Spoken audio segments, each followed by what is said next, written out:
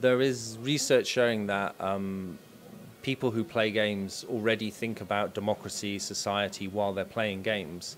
So I think it's important, given that at least one in three people in the European Union play games regularly, that games engage with the topics they're thinking about anyway. Well, I think there's a number of things games can do that other non-linear forms can't, and that doesn't mean I think games replace other forms, but I think they can enhance them. So, for example, you can replay the same situation, take different decisions, and see different outcomes. Uh, but the other thing they can do is they can put you in the shoes of somebody else, so you can find out what it, you can feel a little bit of what it feels like to be in that position.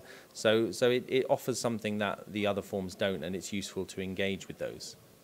Well, I mean, a great example of a game with democracy in it, which is a mainstream game, is Democracy 3, which is currently on Steam by Positech Games. It's a great game and it really engaged with a lot of the complexity that I've been talking about. But also, there's plenty of news games. So, if you go to Games for Change, they have a whole list of really great games that look at everything from Israel Palestine to ones we've created like Endgame Syria. So, yeah, there's a whole host of games that, that really engage with these issues.